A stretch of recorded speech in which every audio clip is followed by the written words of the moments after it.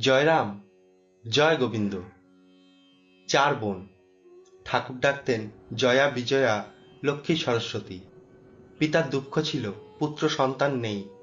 ঠাকুর সান্ত্বনা দিলেন, পুত্রের কর্তব্য তিনি করবেন।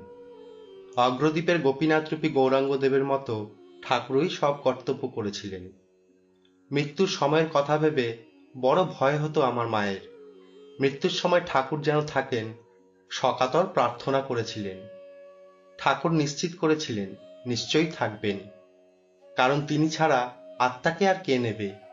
তিনি ছাড়া আত্মাকে নেবার অধিকার তো আর কারও নেই। ভগবানের ভরসা দেওয়া বাক্য সম্ভাভামি যুগে যুগে। কখনো ভগবান রূপে, কখনো ভক্ত রূপে। ভগবান এবং ভক্ত তো আলাদা নয়। যখন গুরু, তখন গুরুই ভগবান। জয় রাম